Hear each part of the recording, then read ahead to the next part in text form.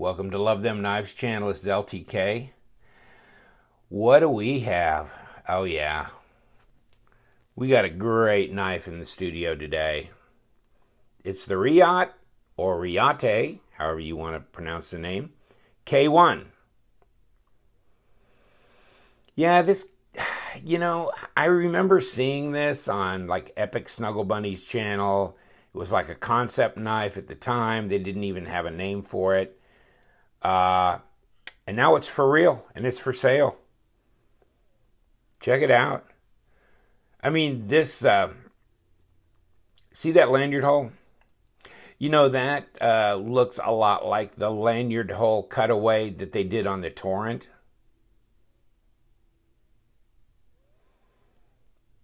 Wow. Really well done. See the back spacer? It's kind of crowned a little bit contoured. The carbon fiber, this is, you know, you can get it with regular carbon fiber insert, or you can get, which I did, uh, or you can get the marbled carbon fiber. So, however you want to go with that. I really like this checked pattern of the standard carbon fiber. I'm not a big fan of the marbled carbon fiber. Uh, it looks too much like G-Mascus to me, and I've seen a lot of G-Mascus. I'm not big into that swirled kind of pattern, um, but I haven't had it in my hands, so I'm kind of talking on third hand. But it just doesn't appeal to me visually, uh, where this does. I like this. I think this is really a classy looking knife. It's a good size knife. This is almost four inch blade. So it's almost nine inches overall. It's like eight and, now oh, crap. Let's just do it. Quit talking about it. See, it's almost three and seven eighths inch long blade. Not quite four. And it's eight and three quarter overall. Oh, uh, 20, over 22 uh, centimeters and the blade not quite 10 pretty close. To 10 centimeters. Good size knife like I was saying. Let me see if I can get my tape measure back down. So it's you know it's got these titanium uh, frame with the carbon fiber. And if check the, the the hardware out. So look at here. This screw here let me let me check the hardware.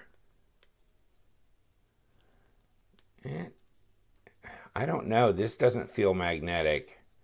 It's not a real strong magnetic pull. I'm probably getting, this might be titanium hardware here. There's a slight magnetic here. Nothing here on these screws. What I was going to say is this screw here looks different than these that are uh, holding the carbon fiber inset. It's more of a domed type screw. They're shiny though. They're not just regular old, you know, gray cap hex screws. This is more of a flattened. This is more of a domed. But these are flat. And they're flush. And this carbon fiber is really seamless here on this handle. Really seamless. It's got a RWL 34 steel hand rubbed satin blade. Now you can get this in satin, satin. I'm saying satin twice because just, they have it just in a satin, or they have it in hand rub satin, or they have it in stonewash, which, uh, nah, I mean, hand rub satin is so nice. Here's the deal. I mean, the regular satin would fingerprint up real easy. The stonewash just looks a little too work type. Uh, this is so sophisticated. The hand rub satin doesn't fingerprint up, yet it has a very elegant look. Lock up on this one about 25%. You like that satin? I like the hand rub satin. I really do. Yeah. I guess when they put the edge on this blade, they do it under, you know, they have that freeze cutting, uh, freeze grind. So they keep the temperature way down so it doesn't get really hot because sometimes when they put an edge on a knife on a grinder or whatever, it can get the, the steel so hot that you kind of lose all the, you know, your temper, temperament, temp, hardness, you know. So the, the, the edge here has, has lost that. And so it's softer than it should be. But here, they they don't do it that way. I mean, they keep it cool so it doesn't lose its temperament. Temp tempering. its hardness. Ah, Lord. It's always something, isn't it? I like this though. It really Oh, the action's so nice. So nice. You know what? Of the Riot knives, yeah, this is wow. This is you know, I wasn't that big on the Hills, the District 9, even the Horizon C. The Horizon D, yeah, that's all fancy, you know, M390 and all that. And the Torrent, love the Torrent. And this reminds me a little of the Torrent. You've got different contours. I mean, this is really contoured out. I mean, you got, if you look, at, it's smooth. It's a smooth contour, but I mean, you've got these yeah, different. I mean, it's just like seamless. It really is. It's just like seamless how it goes. It's so, you know, look at these angles here. But it's just satiny smooth. Uh, you know, you can feel this coming up to this different level for the carbon fiber. Carbon fiber being really smooth along here. Very seamless transition to the titanium. There's a little speed bump right there. See how that's, but really nice, machined pivot, very elegant. I like that. I mean, it's, it's pretty just everyday sensible with access to Torxes and stuff, but still, and then you got this crowned spine. This is, this jimping here is uh, meaningless. But if you're going to go out in the woods with this knife, don't. you know, I mean, this is not, yeah, I've got a lot of knives I'd take out in the woods.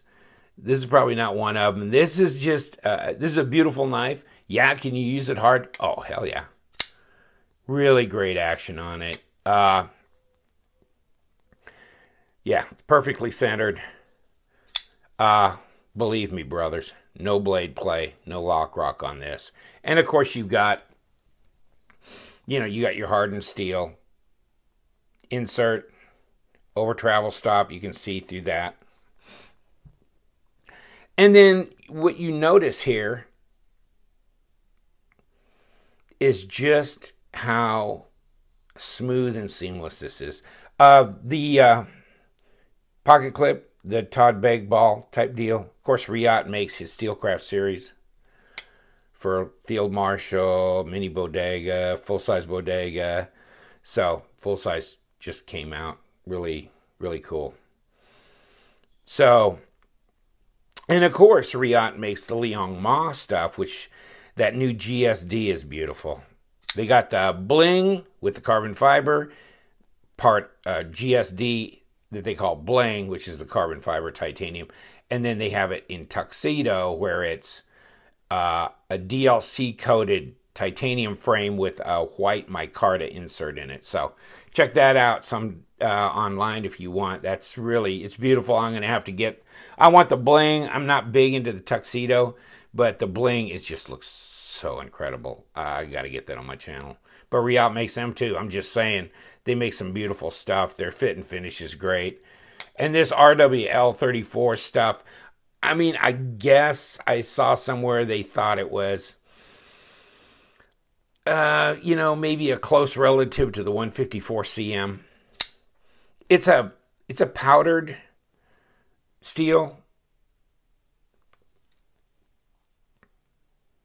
Martensitic, if that means anything to you. And uh, these knives, they're not giving them away. What a surprise, huh? Now, oh, hey, let's get... Uh, let's get this. So 14 uh, millimeters across, 0.56 inches. So that's a good, you know, thick handle to get your hands on. Let's see what the blade steel, 0.15. So, yeah, four millimeters. Yeah, there you go. Nice heavy uh, stock. Doesn't look that heavy when they crown the spine like that. Here's your blade stop up here. Wow. Good detent. Beautiful stuff there. Uh, you got jimping on the flipper tab. Flipper tab's not very tall, so it's not very obtuse, you know, is it? Wow, once it overcomes that detent, it's just out there. It can be gravity flipped, which I did with that outside the camera. So, I mean, it can be gravity flipped, but it's not easy because that's a pretty stiff detent. That's like a seven and a half, 10 being the toughest. That's about a seven and a half. It's not real easy. That's that's pretty good. Um, that was light switch, push button, just a nice, beautiful click. Wow.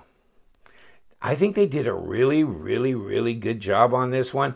This contour of this carbon fiber going over the edge here, uh, that's not real easy to do. See how they inset that on top of the scale all the way through here and back. There's your pocket clip, which is inset into the scale. Got a single screw. Oh, well, we got the flashlight around here. Take a look inside. Yeah, they uh, milled out off the top, the underside of the top scale here, where the titanium is, not where the carbon fiber is. They did some milling there. And on inside of the lock bar. Yeah, so, 4.9 ounces, folks. For almost a 9 inch knife that's 0.55 thick. And I'll prove it to you. Put her on a scale. Ah! up, up. Got it. 4.9. Almost went to 5.0. 4.9. Yes, it is. So not quite even 5 ounces. 140 grams. How's that? Oh man, I'll tell you what. It's all sweetness and light, isn't it? It's a pretty knife in every possible aspect. I really like this. This and the Torrent, and of course, the Future, which I've still got, still held on to it with the Damasteel blade. Uh, uh, it's pretty knife. Of course, this is an integral. And you know what? They're not giving these away for free either. Just saying. Oh, well, if you want to do a comparison, like size-wise, let, let me get them out. I'm sure everybody out there has like three or four of these future knives, you know. Yeah. Get them at Walmart, 39 bucks. So, yeah. Pretty close to the same size. Crazy. Crazy. Um, how about the uh, Kizer Sovereign Vanguard series? Yeah, this is a bigger knife. Bigger knife. This is your typical EDC three and a half inch. See? Bigger knife. I like that blade design, don't you? I think that is nice. What a great slicer that would be. You still got plenty of material up here, so you can do piercing. Looks like a sheep's foot to me. Wonderful. Oh, if you want some specs on here, there's not a lot of sites selling this knife right now. This is late May of 2017. I pulled up Knife Center. They got this is this exact uh, model, So they're saying 3.875 uh, on the blade length. And no, not giving it away. But it's in stock. How about that? And if you want to uh, kind of pause and read on this stuff, yeah. And they talk about, well, they do the Steelcraft series and they do a really nice uh, job. Solo Jack is the designer on this one, uh, this knife. So take note of that. Uh, I don't know much about his uh, designs and I didn't look him up. I didn't Google him. I will later and see kind of what other stuff he's done. And then they talk about they lightened the crown the spine, milled out the inside of the scales. And then they do a little deal on, uh, oh, well, characteristics of RWL 34 so they talk about that a little bit, and they talk about the freeze edging skill. So look that up uh, on Knife Center. You know, replaceable lock bar insert over travel stop. Yes, ceramic uh, ball on the on the pocket clip. So really cool. They talk about the uh, Damasteel company you know, the uh, rapid solidified powdered, the RPS uh, steel. So, and, you know, they get a little bit into the chromium, uh, vanadium, this and that for the corrosion resistance, hardness, and strength. Equivalent 154 cm, you know, and I don't know if that's something you can argue about because not, I don't always believe the information necessarily that goes on these retail sites. Sometimes they get some things that are, they're wrong. But I mean, I thought I'd throw that information out at you because, you know, not everything out there's got RWL 34 on it. So you might want to know a little bit more about that uh, going forward. It looks really nice. Feels good in the hands. Really comfortable. The action's great. It's true one-hander. And see, you've got... I know, you know, they didn't do a lot of cutaway here, but there's enough and it's not that difficult to engage that lock bar.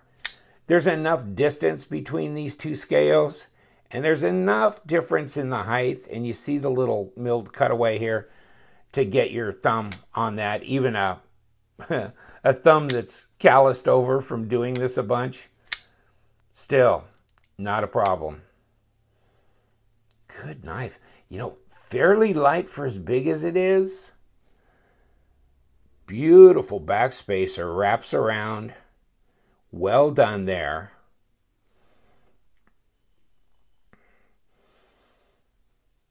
There's a lot of touches on here. It's really, I mean, what is the, the Horizon D, which is the M390 and it's all pimped and stuff, and then the the torrent they're in the 375 range so this is not appreciably more expensive. Just a little bit. Comes with this nice pouch, you know, like Reate knives do.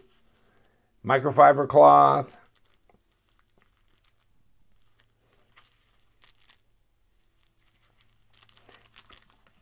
Goes in here. They seal it in there. I had to cut the I had to cut the end of the pouch away a little bit just to get the knife out. Isn't that weird? They, I mean, they seal it right in there. It's a little strange. Uh, and then it just comes in a regular, just a regular box. That all fits in that box. And here you go, Reate K1 carbon fiber hand rubbed. Yeah. Oh, it feels good in the hand. Wow. Really nice.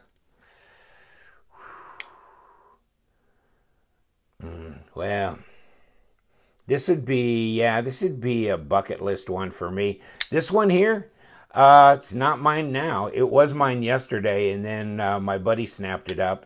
And I said, one condition. I get to do a, put this up on my channel. Uh, before I send it to you. Oh my God. He, he called me on the phone as soon as I sent him pictures and a little video, and he's like, What is that?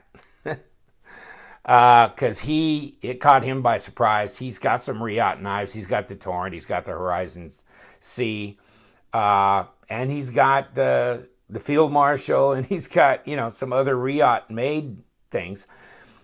Uh, this one caught him by surprise. He didn't see this one coming out yet and it did kind of get me by surprise too. Actually, um, I had seen the video, but I mean, I had uh, not been tracking it, and so all of a sudden it was out, and one of the viewers brought it to my attention, saying, "What do you think? I love it. It's like a dream."